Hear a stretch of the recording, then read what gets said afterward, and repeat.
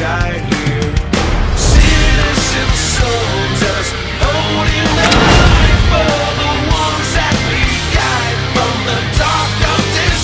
many times have I told you? You're more likely to get shot being around a guy with a gun.